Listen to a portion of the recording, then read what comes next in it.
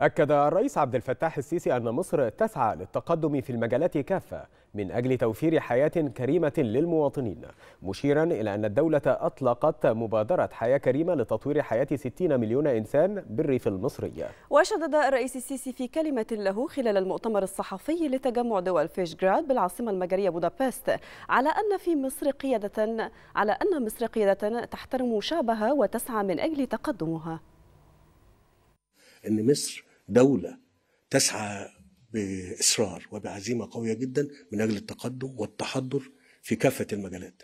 والجهد اللي بذل في مصر خلال السبع سنين اللي فاتت هو خير دليل على ذلك.